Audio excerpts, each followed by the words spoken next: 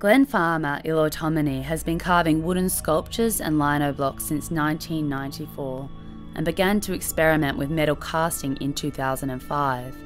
He has made a number of cast animals, a popular theme being native birds, including kookaburras and waterfowl. It is evident that he has made a seamless transition from the Tiwi tradition of carving ironwood to metal work.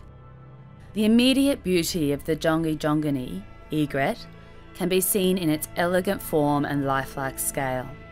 The great egret is a graceful hunter that can be found throughout the world except in arid areas. The egret usually hunts in water, wading through the shallows or standing motionless before stabbing at prey. The elegant lines and silhouette of this Jongijongini have been expertly carved, first in wood, then fabricated in bronze. The viewer's eye is immediately drawn up the long, graceful neck.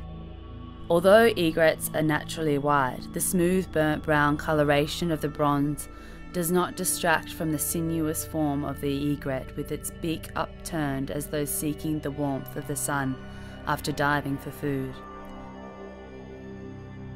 The original subtle cut marks from the carver's tools enhance the sense of movement and relate to finer features like feathers on its wings. The subtlety and grace of this sculpture contrasts with the bold weightiness characteristic of Tiwi carvings made from ironwood.